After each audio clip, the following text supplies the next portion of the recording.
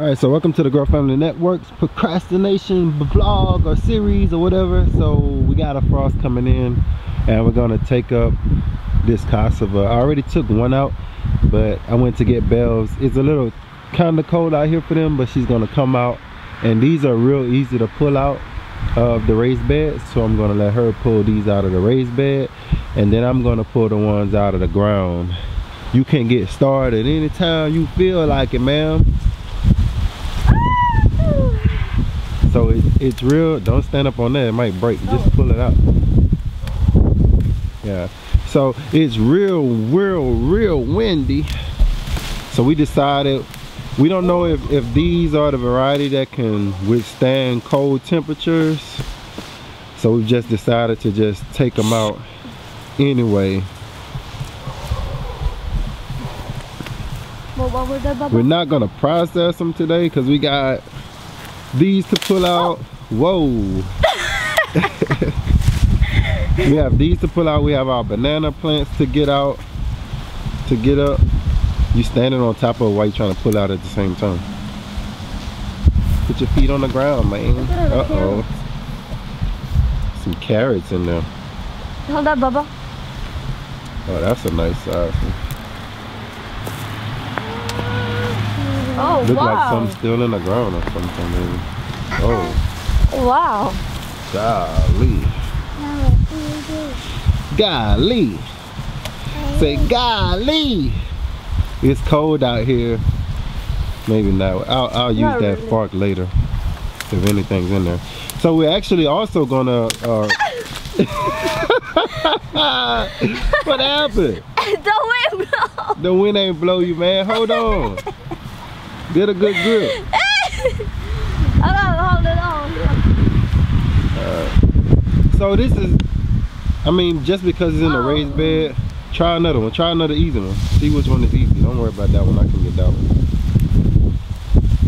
This is in a raised bed, so it's easier to pull these out than if they were in the ground. In the ground, it's it's a little bit more difficult. How many of that is plants you got? One, two, three, four. Good harvest so far. She's making it. Wow, look at this. Oh, I pulled it Yeah, oh, so we got some that's still in there. And we got a fork that later, before I start to add salt to this, I'll go through it and hopefully, oh, look at that. That looks good. You can try. Try that one, over there on the side. Uh-oh, little boss is coming. Still got the little tag on them clothes, girl. First time using it this year, huh? Go. Get it. Pull it out of there. Get up, Bubba. Over here, Bubba. One, you ready? One, two, three. Pull. Pull it, Bubba. Good job. Good job. Sorry. Uh oh, what happened? She hit her face? Uh oh. Don't let her fall out of there. So those broke off.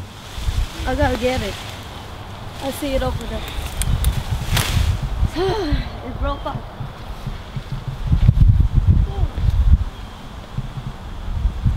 Yeah. I'll get in there with the fork before I get ready to add.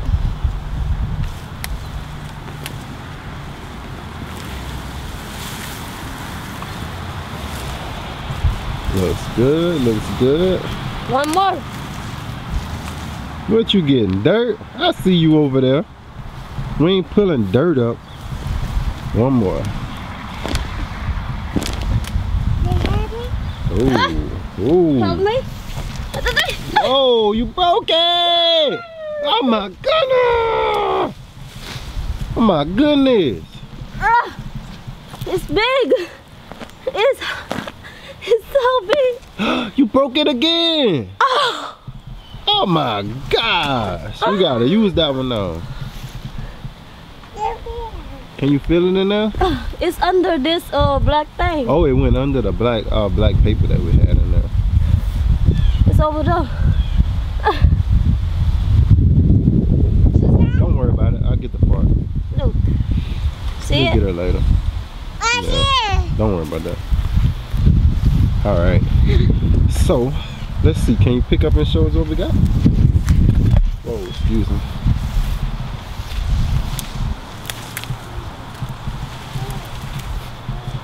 Ini sikatan na baba. You can hold it upside down like this. Baba. Ini sikatan. Oh. Let's see. I can get them. You hold it. You ain't gonna be able to hold all of it. No, that's too much.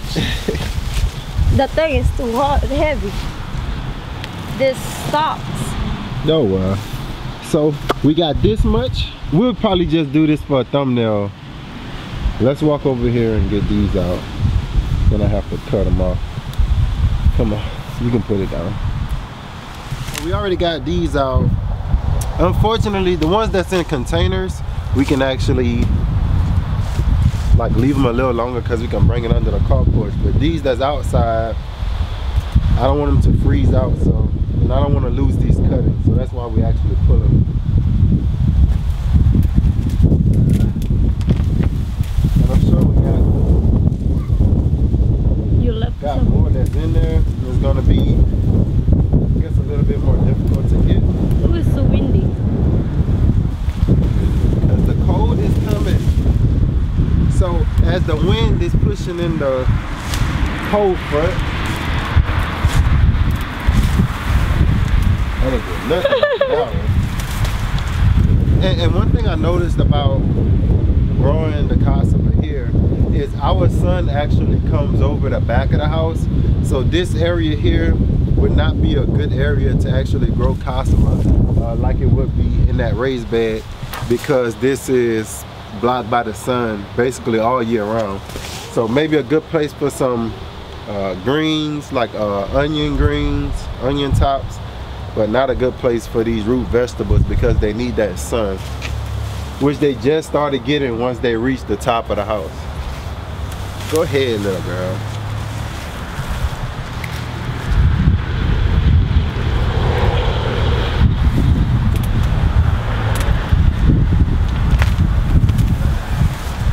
Pulling a lot of them out that's breaking off. From from what I'm looking at here they're breaking off in the ground. So. But still at this point out here to the front these uh, cuttings actually mean a little bit more to us than than the actual roots. Because we got a lot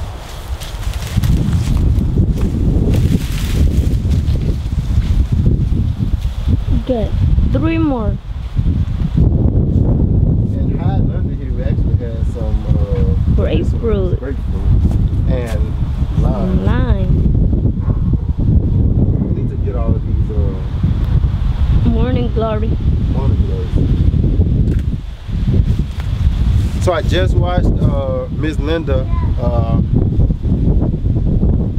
is T Knock, the New Orleans gardener, and she was collecting some morning glory seeds, which made me think about these that were out here. So I said, man, let me go out there and see if I can get some. And I've actually been taking in some of those morning glory seeds as well.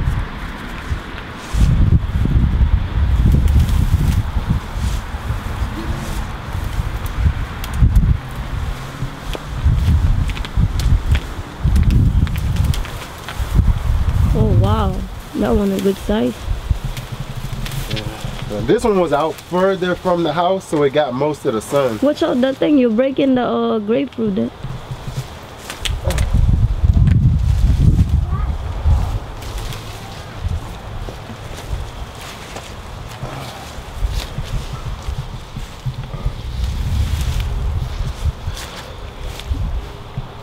One more.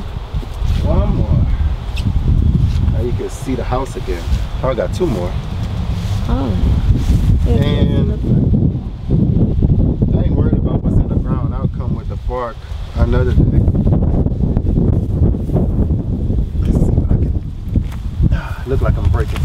big time though. I can just hear them breaking off. That's a huge one. Yeah. I can hear them breaking off. See that?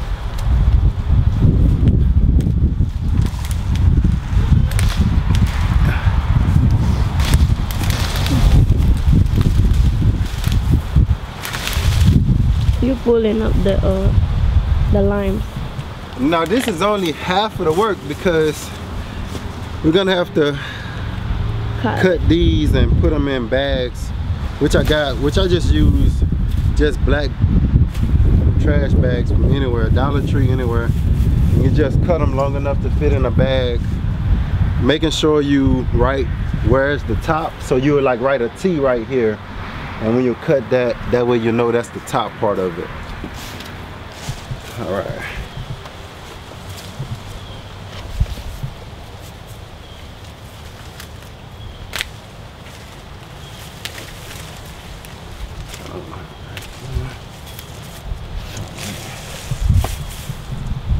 We.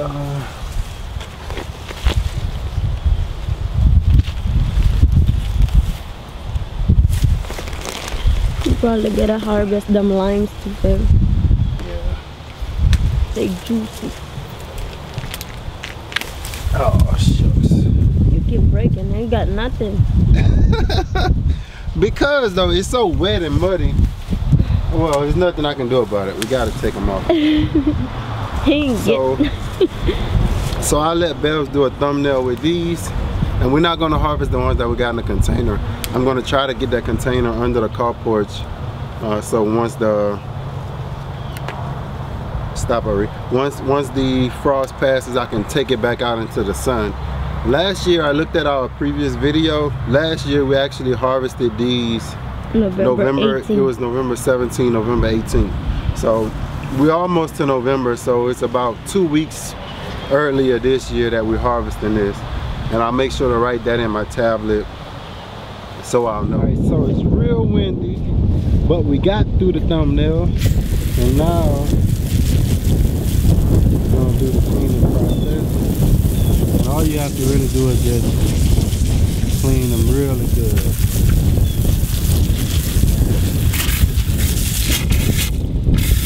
Come on.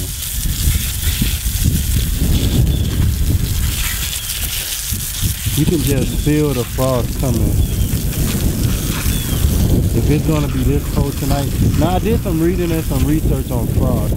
If it's real, real, real windy, then the wind doesn't allow for the moisture to stay on the plant. So you can't have like real windy cold without the frost ever really getting to. As the wind keeps everything dry. But let me go ahead on and clean this all the way off. And then we'll come back and talk about what we got.